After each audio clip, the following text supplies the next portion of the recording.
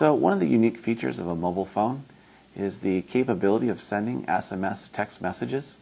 And one of the nice things about working with Eclipse is that we can open up two desktop emulators and use their TCP/IP port numbers as telephone numbers to simulate the conversation between both the emulators.